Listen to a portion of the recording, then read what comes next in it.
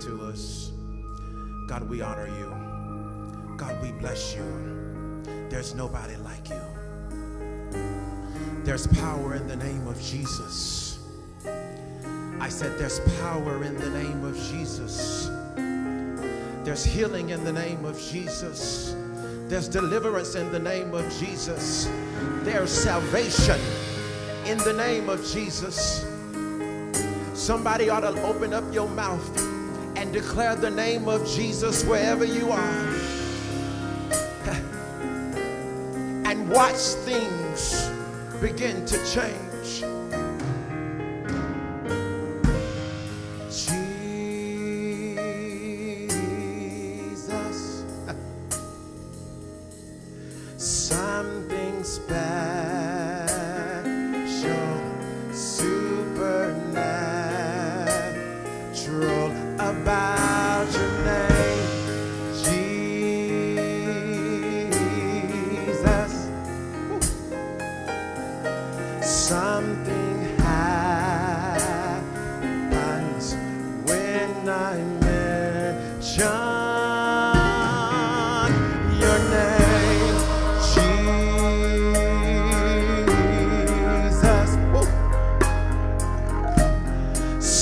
Something special,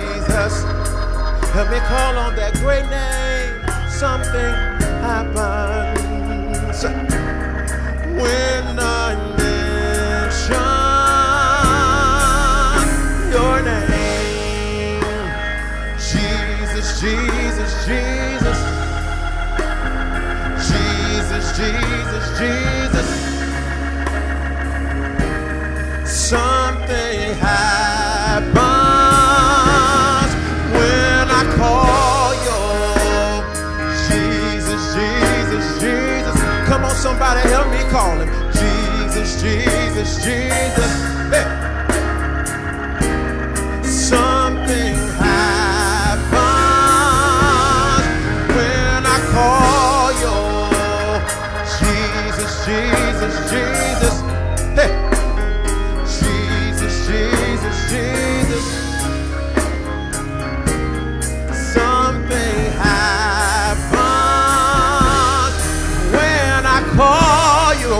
When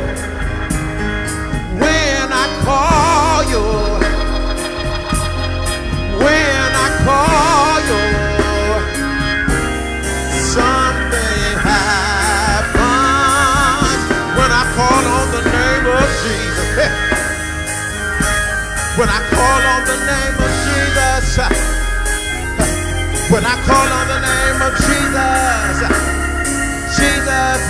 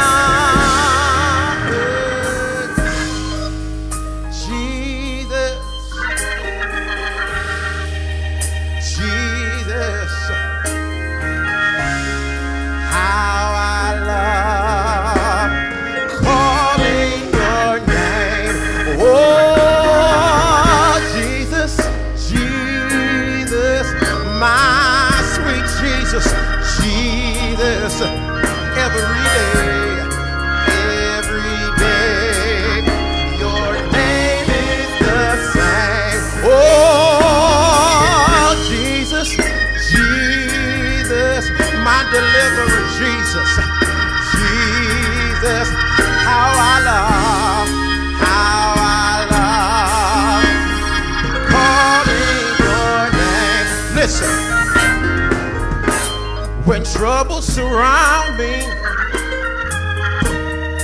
I didn't have to despair. Cause Lord, you told me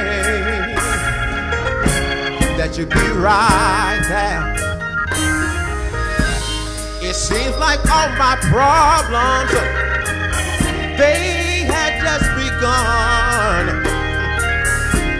I didn't have to worry no more, cause they were already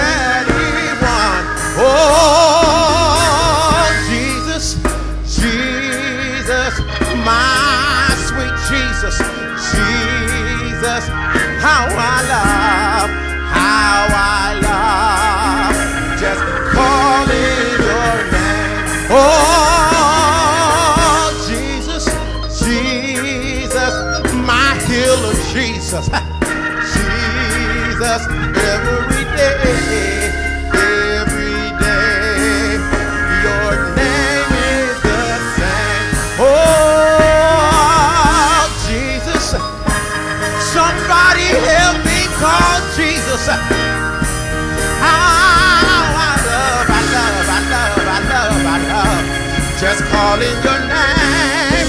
Oh, come on, Jesus. Come on, Jesus. Come on,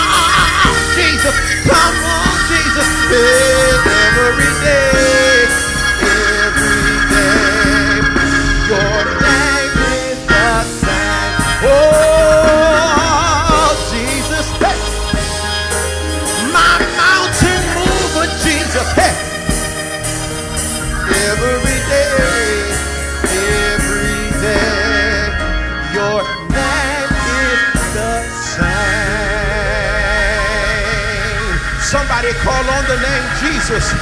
Somebody call on the name Jesus. Somebody call on the name Jesus. My deliverer, Jesus. My burden bearer, Jesus. My heavy load sharer, Jesus. Come on, Jesus. Oh, Jesus.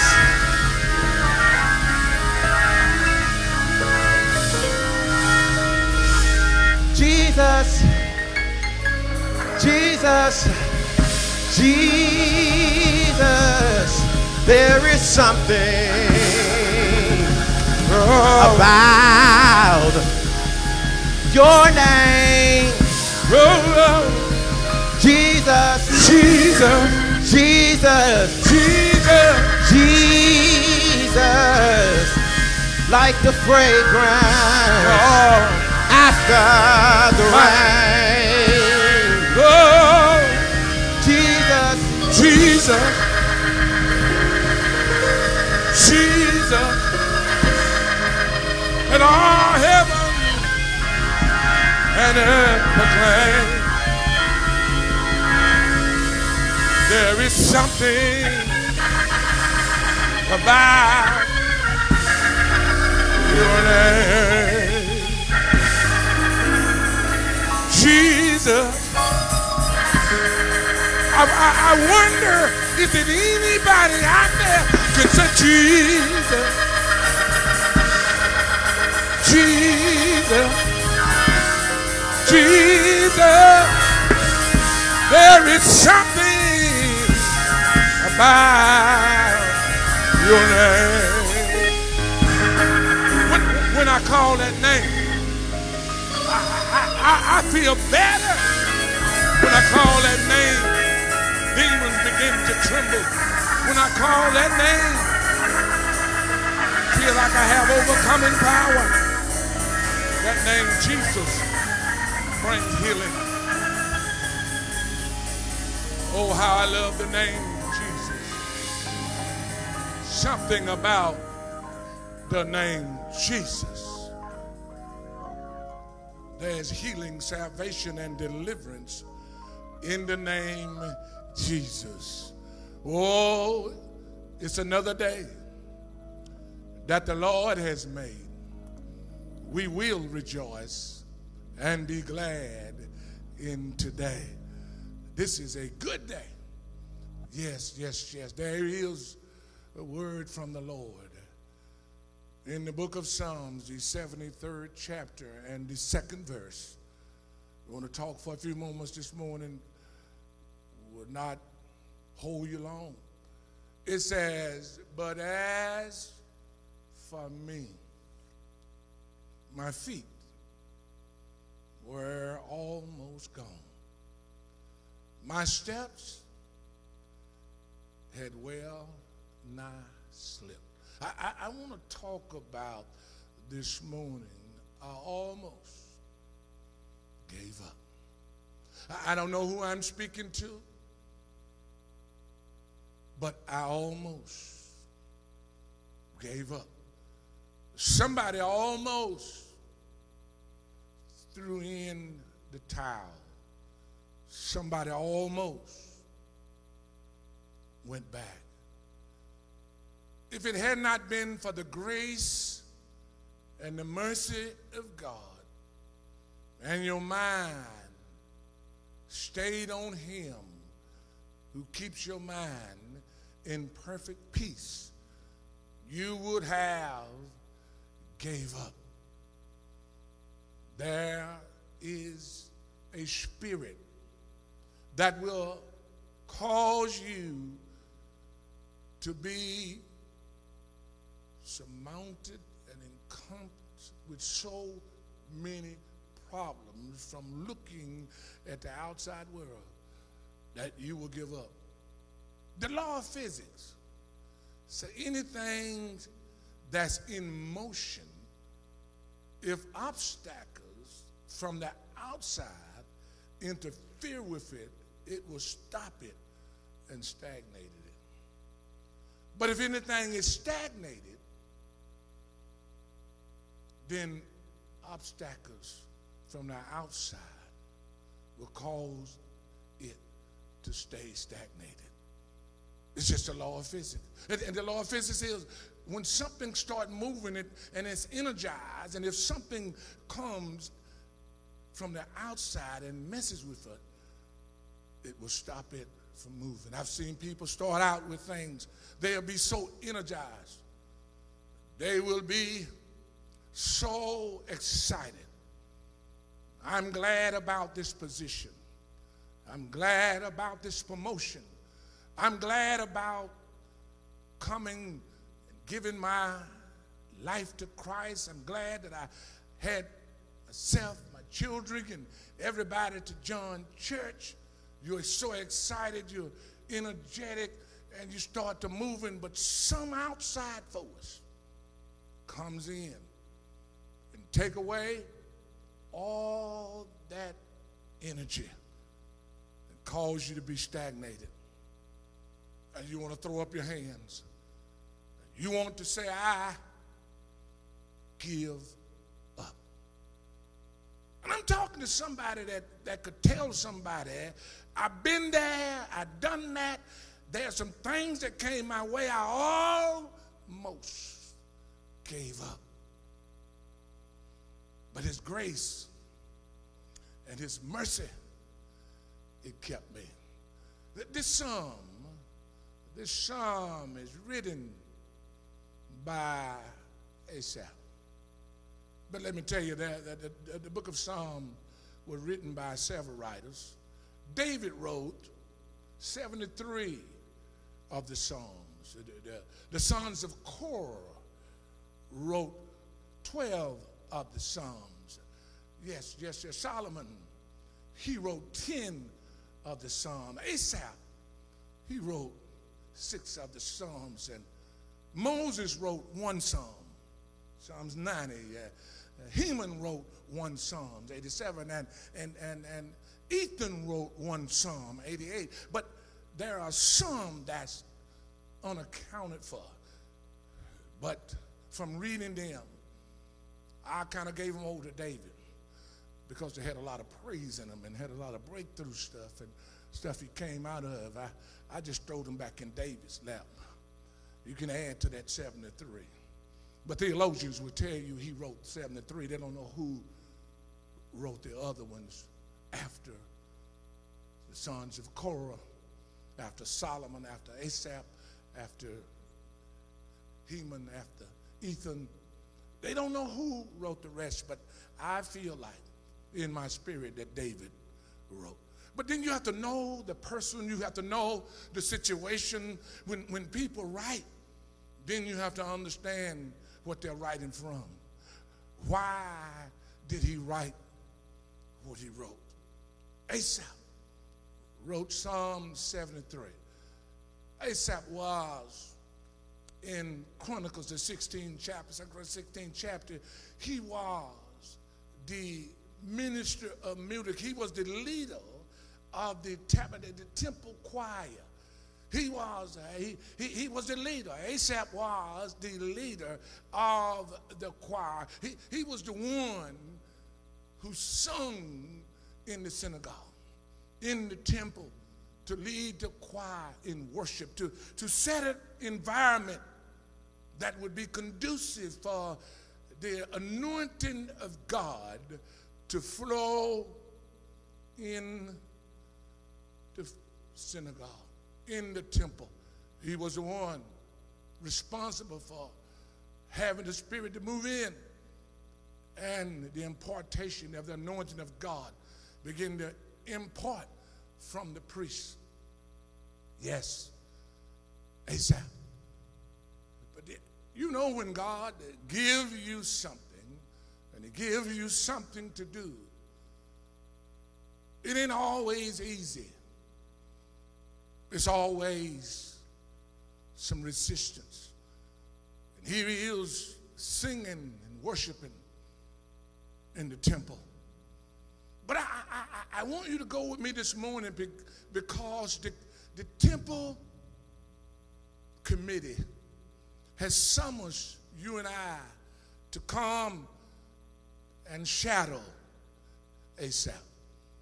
Here we are. We're going to shadow Asaph this morning. I need you to open your mind and travel with me with Asaph. We're going to Asaph's home. Here we are coming to Asaph's home. Yes, yes. Asaph greets us. Good morning. Come on in. We come in and sit down and say, Have a seat. I'm getting ready. This is my routine before I go down to the temple every day. I have to look for me a meager means of breakfast before I go down to the temple. I have to get things in order here at my house. I got to get things straightened out. Don't have everything that I want, but I do have what I need. But I, I, I need you to shadow me and you follow me. And as they begin to leave and walk out the door, they're walking. Can you imagine yourself walking with Asaph this morning? You're going to learn something. Walking with Asaph. He's walking on his way to the temple. He stops at a coffee shop. People speaking to us as we walk before we get to the coffee shop. They're speaking, hello, how you doing? They're speaking to Asaph. Gets in the coffee shop. He said, I sit here for a moment. But as we're walking, you have to back up because as we're walking, he says, he's got a slow step. He said, I, I have to push myself to go to the temple every day because I got some sickness in my body, my legs. I'm, I do not have the health I used to have. I, am walking, walking slowly. People speaking. Gets to the coffee shop and he sits down. We're still seeing people come and people come in and speak to him saying, God is still God. God is still good. God is good all the time. I said, Yes, it's good. But on the inside of him, he's hurting, he's in pain and distress. They're looking at him. But then, the first thing we're going to learn from Asaph this morning is it matters what you've been taught. It matters what you were taught as a child, what you are taught every day, it matters.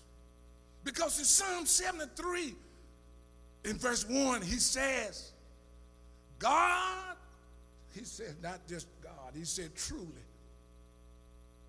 Truly, God is good to Israel, even to such as have a clean heart. It matters what you've been taught.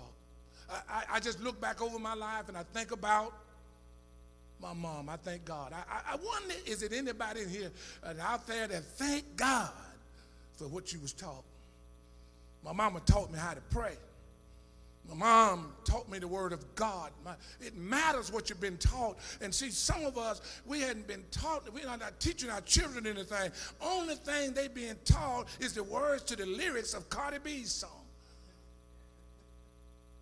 Or Lil Wayne. What are you teaching your children? It matters what you're being taught. What you've been taught as you're bringing your children up, it's going to matter. It matters what you've been taught. I thank God for my Sunday school teachers.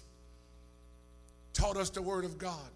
You know why he said truly God is good to Israel? Because he was taught that God blessed Abraham's seed.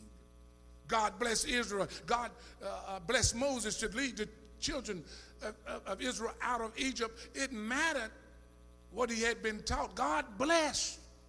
He knew the word of God because he was taught it you need to understand today it matters what you are being taught.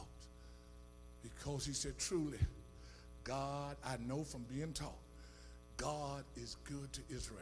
I, I wonder how many out there. And somebody said, well, well, Pastor Harrell, I, I, I, I, I never been taught nothing. Somebody just invited me to church. Let me tell you nature.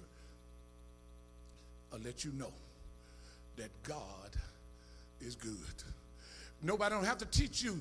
You woke up this morning, you saw the bright sunshine.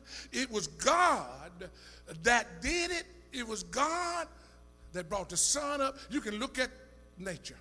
You can look at the world and see that God is good. Nobody don't have to tell you God is good because it was him that woke you up this morning. You got to know that somebody is in control of this universe is not operating on his own,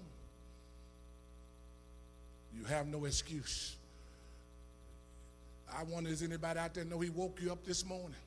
If he woke you up this morning, he started you on your way, you ought to have a praise in your life. You ought to have a thank you, Jesus, because it matters. It matters. I, I, I, know for a fact. It, it told me every time you wake up, tell God thank you. It matters what you've been taught. Here they are sitting in the coffee shop here we are shouting Asaph, but we're in the coffee shop. We see a group of people pass by, waving. God is good. But then all of a sudden, there's another group come by that's dressed so fine. Gold changes, rings on their finger. Very arrogant, very conceited, healthy, looking good. They come by and everybody start looking strange. They don't say anything. They walks up to our table and they says, what are y'all doing? We falling and shadowing Asaph. Why are you shadowing him? They're very arrogant about it. They know they got it going on. They know they got their health. They know they got money in their pocket. They know that they, they got the best of life, they think. So this uh, they're they very confident and cocky about it. Saying, what are y'all doing? Shouting Asaph. Well, we, we want to shatter him to learn. What you want to shatter him for? All he does is do the same thing every day, go down to that temple. Look at him. Look at him. He goes down there every day. If, if, if, if, if, if, if it's so good what he's doing, then why ain't he well in his body? If it's so good what he's doing, why he doesn't have money in his pocket? Why, why, why, why, why, why, why his business have went down if, if, if what he's doing is so good? Why? He can't do what we are doing. Look at us. You following him you following him is to no end. He's not, he, he's not doing anything. Look at it. So it matters what you're being taught, but this mean more to me. It matters from experience. It matters more. When you experience something, it matters more. Sometimes you can teach children. You can teach them all, but until they get out there, sometime they'll walk away from your house. But experience becomes the best teacher. The prodigal son left his dad and said, I, I got this. He'd been taught to go to church. Let me tell you the first step to backsliding is missing church. He had been taught to go to church, but he says, I, I, I, I, I want the blessing, but I want to live the blessing because I want to go where I want to go. I want to do what I want to do when I want to do it. I want to do it, and I want who I want to do it with. So I don't, I don't need your covering. I, I, I need to be on my own. Just give me my blessing. Let me monitor. Don't you tell me when to come and when to go. But experience matters more. It matters what you've been taught, but experience matters more. Here is Asaph experiencing this, and now it hits him. He's throwing up his hands. He's saying, Here I am. I go to church every Sunday. I pay my tithes, I, I, I, sing, I usher in, and I, I pray so hard, I, sometimes I don't feel like going. I'm, I'm hurting in my body. Y'all, y'all, saw me walking. I'm walking slow, but I, I, make my way there. And when they call me, I come, I worship, I praise, and here they are making a mockery of me. And these people living good, they're driving good, eating good, dressing good. Here I am struggling. I've been giving my tithes, but they still got their job. I lost my job. They came against me and got rid of me. I lost my job, but they still have their job, and they looking at me like I'm nobody. Yeah, you say you serve God. what your God done for you? Asaph is ready to throw his hands up. He said, God, what is going on here? These people, these people don't, they don't love you. They don't care about you, but yet they're prospering. Yet they look like we are dying, church folk dying, and like the hell raisers still living. The biggest hell raisers in the church stay alive, and your good people look like they leave. Good paying folk. Ain't God all right? Hell raisers still hanging around, giving you trouble. People in the street driving better Asaph said, almost, almost threw in the towel. He's, he, he's, he's, at the, he, at the, he at the end of the rope. I can't handle no more. This is too much for me to handle.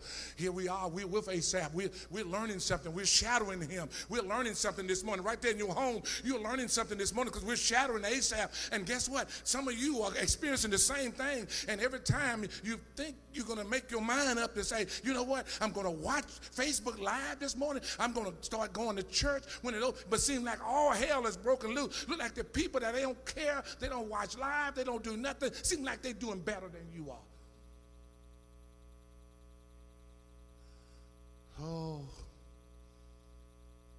But then the next thing is while we they shout, what God says matters most. What you talk matters, but what you experience is more. But what God says is more. I, I'm out of here this morning. I am out of here on that last point. What God says matters most. I don't care what nobody else says. I don't care what things look like. What God says matters most. I don't care what's coming against you. I don't care how bad it seems. But if you stand on the counsel of God, and that is His Word, what God says matters most out of anything that can happen in your life what God says matters most. I need you to put that in your spirit. To start reading the Word of God and say what God says matters most. Because in that very 14th verse. I'm going on home. In that 14th verse, he said, For all, all day long, I've been plagued. This thing, this thing, just leave it right there. This thing has plagued me. It's plagued me when I get home. I, I go to church and I sing, I praise God, I give, I, I, I, do what I need to do. If somebody needs help, I give them a helping hand. This thing has been plaguing me on the inside and chasing me every morning. Every morning I wake up. It takes everything in your body to get up. When you're looking and seem like you're doing everything for God, you don't feel like combing your hair. It's chasing me every morning to look at myself in the mirror and say, Can you make another day? I wonder, is it anybody out there feel that way that you want to understand? Can I make another day, Pastor Harrell? You're preaching here on Sunday morning, but you don't know what I'm going through. You don't know what, what the situation is in my life because I try. I do the best I can, but seem like everything is against me. It plagues me in my spirit. It chasing me every morning. Do you not know, Pastor Harrell, what it takes for me? Even I'm, I'm, I'm, i know I, am a Christian. I know I got saved, but it chases me every morning just to get up and comb my hair and put clothes on. Sometimes I, I just throw a head rag on. Sometimes I, I don't put no makeup on. I don't do anything. I just I just put on something and run to the store and come back because I just don't feel like even seeing people I don't even feel like doing anything. I don't, I don't feel like. But in verse 15, he says, if I say, I'm going to say this, not because I know I go to church every Sunday. If I say, I'm going to get up in front of the church and testify that I got all these issues going on in my life, then I'm going to offend the generations of God's children. So I got to keep this ball up on the inside of me doing my job, singing, ministering, preaching, teaching, or whatever you do. If I say this, it's going to hurt somebody. If I say this, it's going to hurt the generation that said what God can do, that, brought, that was brought out of the land of Israel. If I say this, I'm going to make somebody stumble. So now I got to, I got to, you got to, I got to sit here and ball this stuff inside of me because I got some people shadowing me right here in this coffee shop. Asaph says, I can't, I can't say it. See, woman of God, man of God, son and daughter of God, keep it to yourself. You can't say it because you're going to offend generations. Don't, don't talk negative to nobody. Don't say, uh, uh the, the devil already telling them what they can't be and what they can't have who they can't be and they can't do this and they can't do that. And, and you, as somebody that they look up to, Asaph, you the leader of the choir, you can't go there. Asaph, you sing every Sunday morning. You can Pastor Harrell, you preach every Sunday morning. You can't go there, even though sometimes on the inside of you, there's some things, you have some problems. And guess what? And a lot of times the problem not with me, it's problem with people that they say they love you. That's why Jeremiah almost gave up. In Jeremiah 20 and 10, Jeremiah said, You know what? I, I, if I heard the defaming of many, feel on every side report, every time I preach, I, I had a word from God, but I heard all these folk that's shaking my hand but stabbing me in my back. We were we're gonna report it. He ain't no good. They running here and there saying this about him. All my familiars watch for my halting. The people I knew, um, this ain't no people on the outside. This people on the inside. I, I, I, I, I came to the church, Pastor Harrell, because I want to leave backstabbing folks. I came in the church, and I got to the church, the same folks at church. Are y'all hearing me this morning? The same people was at the church. I left the world to not be backstabbed, but when I got to the church, I found the same folks that came in the church also. He said, All my familiar watch for my halting, saying, Perhaps he will be enticed. perhaps he gonna go down. Perhaps we talk about him, he'll shut up. Perhaps he won't. We shall prevail against him. We're gonna make him stop. He, not gonna sing no more. He's not gonna preach no more. She's not gonna give no more. She's not gonna love no more. She's gonna leave the church because we're gonna prevail against him, and we shall take our revenge on him. See, the devil want to take revenge on you. The devil wants you to give up so he can say, I got the revenge. Boy, you better listen to that word this morning because I'm speaking to somebody right out there that the devil is trying to make you stop because he want to get revenge over you. And it's somebody that you're familiar with. See, you're not going to hurt as much from the outside world. But when it's somebody that you're familiar with, that you eat the Last Supper with, break bread and drink wine with, sit at the same table. Uh, uh, David said, I wasn't wounded in the house of my enemy, I was wounded in the house of my friends. They wanted to see me halted. They want to perhaps keep me from doing what I'm doing. And Asaph said, These folks speaking to me every morning, but now they come here and now they say, What's, what's the use of you're doing what you're doing? Look at us. Why don't you give up church? Why don't you stop doing what you're doing, Asaph? But I heard Asaph in that 17th verse. I heard Asaph say these words. He said, until I went, hey, come on, somebody. He said, until my mind got right. I, I was messed up back up to 16 just for a second so we could just show just something.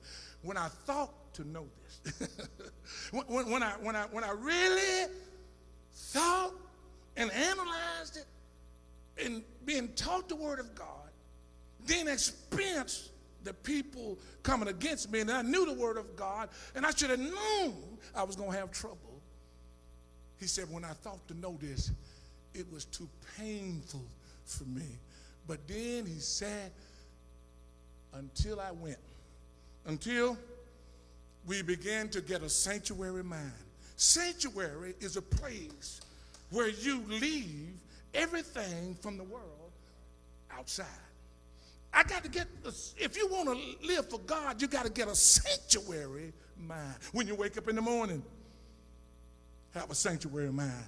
When you go to bed at night, have a sanctuary mind. Everything you do for God, even if you're in the church, I don't care who talks about me. I don't care who, who, who don't like me. See, when you have a sanctuary mind, they don't bother you. He said, until I thought to know this, I got I, I entered the sanctuary of God. So you got to get in a place so you can think about God and the ways of God. Then I understood. I, I was about to give up. I almost gave up. But when I got in the sanctuary, I understood. Went on in some person, he said that they got, he, he, got them on a slippery edge. See, some folks on a slippery edge and don't know it. They got one foot on a banana peeling and one in the grave. They, they, on a slippery, he said, and when he said it, he said, they, they on a slippery alley. Surely thou didst set them in a slippery place. There's some folk, they think they got it going on, but they in a slippery place. Oh. He said, thou casted them down. God gonna, God got this in control. When I thought to know this, I understand now when I got in the sanctuary that God got everything in control, that the people that I'm looking at and comparing myself with, they in a slippery place. Somebody shout slippery, slippery. I, I, I, I would rather be without than be in a steadfast place than be with on a slippery place. Yes, yes, yes, yes, yes, yes. Asaph what it is that made you think. Say, when I thought about the counsel of God, all I need is the counsel of God. I'm going to follow his counsel. I made up my mind that I'm not going to follow the counsel of the ungodly. Going to look at what the world got going on. I'm to look at what God has said in His Word. Mm, on last Sunday, I told you, be not weary in well doing, for a due season, you're going to reap if you don't if you don't give up. You see oh lord the devil wants you to throw in the towel. He wants you focused on everything oh lord. But what the lord is doing in your life mm, sometimes you got to go back on what you've been taught. Oh, Lord. If you've been taught, uh, the Lord will make a way out of no way. Then you need to hold on to what you've been taught. Ain't God all right? But uh, sometimes you, got to go back and look back over your life and say, I got to learn from my experience. Oh Lord, He He He brought me through this. Surely, yeah, He gonna bring me through that. Ain't God all right? He brought me out. No, He didn't bring me out for me to stop right here I can't look at uh, nobody else. Uh, I got to look at uh, what God has done for me. Yeah, He saved my soul. Yes, He did. I heard Asaph say, surely,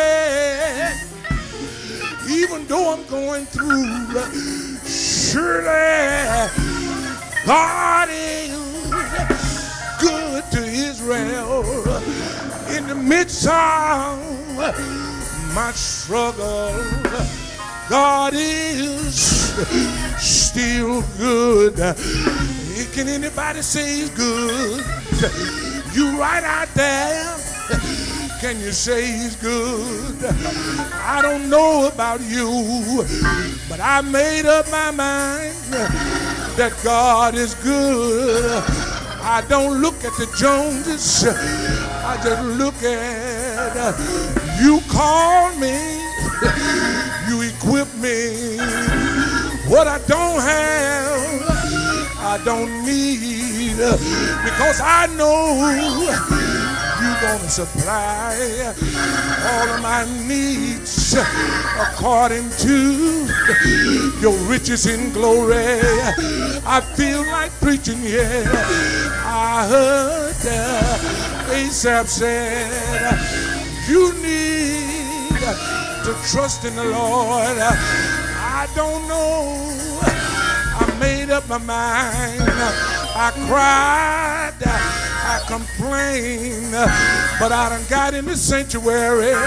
My mind has changed. I got a new outlook. I got joy, even though they're talking about me. I got peace, even I'm being lied on. I heard Jeremiah say, Well, Jeremiah, did you give up? He said, I wanted to quit. I went somewhere. I got in a cave. I began to sit down. But something called the word of God. It was like fire set up in my bones. Did anybody out there know you can't sit down when God has blessed your life? You can't stop doing what you're doing when God has blessed your soul. If you heal your body, You can't stop now. Keep on giving for God. Keep on preaching for God. Keep on serving the community. Keep on doing your outreach. Don't let nobody stop you. They gonna talk negative when you're working in the house of God. They'll tell you you're just doing it for the preacher. But you need to let them know my mind is on the sanctuary. I'm in the sanctuary. I don't see man. I look beyond man. I see God working. He's working through me. He'll work through you. You need to let him use you. You need to let him use you. Ain't God all right? As I go on to close, Jesus, we could have quit y'all when he was hanging on that old rugged cross. I'm to take him to the cross. Was hanging on that old rugged cross. He saw people that was in the temple selling, doing wrong. He saw people hitting him that didn't deserve to hit him. They was living like hell. He was living for God. He could have quit on the cross, but he stayed right there. Can anybody hear me out there? He stayed right there. Hung on that cross. Oh, yes, he did. He stayed right there. Hung right there. He didn't quit, y'all. Why he didn't quit? He looked for the joy that was set before him. He looked for the things that was more important than that. Ain't God all right? He stayed right there. Ain't he all right? Ain't he all right? Say yeah. Say yeah. Say yeah. Don't you quit. Don't you quit. You almost about to throw in the towel. Don't throw it in. Hold on. Hold on to God's unchanging hand. Everything. Everything gonna be all right. It's gonna be all right. It's gonna be all right. Somebody say yeah. Say yeah. Say yeah. Say yeah. Say yeah. Tell him thank you. Tell him thank you. As I go to my seat, as I go to my seat, I heard a poem. It said when things go wrong, as they sometimes will, when the road you're tugging seems all uphill, when the funds are low and the debt get high, you wanna want to smile, but you wanna cry when all is pressing you down a bit. Rest if you must, but don't you quit. Ain't God all right? He said these words. Said life is strange with its twists and turns, but when everyone of us sometimes learn, and many a failures comes about when we might have won if we had stuck it out. he don't give up, though the pace seems slow. You may succeed with another blow. the devil might give you a blow, but if you just hold on, somebody say, hold on, hold on, hold on. Don't you give up. I ride it almost shout right where you are. Jump on that devil. say, almost, I almost, I almost gave up. Oh, but I'm so glad I hung on in there. I hung on in there. I hung on in there. Thank you, Jesus. Thank you, Jesus. Oh, Lord. Thank you, Jesus. Thank you, Jesus. Almost gave up. Oh, left your hands right where you are and worship with us. Come on. Oh, yes. Oh, yes. I almost let go. I'm talking to you this morning. I felt like I just couldn't take life anymore. Oh, yeah. Oh, yeah, yeah. My problems Hey. had me bound. Oh, Lord. Depression weighed me down. Oh. But God held me close. So I wouldn't let go. Oh, thank you. Oh, God's mercies kept me, I wouldn't let go. I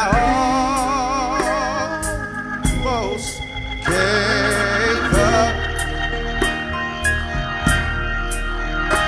I was right at the edge of a breakthrough, but couldn't see it. The devil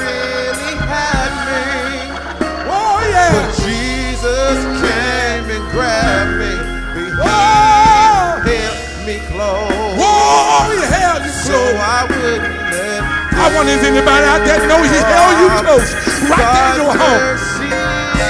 It was his mercy. so I wouldn't let Boy. I don't know about you, but it was his mercy. So I'm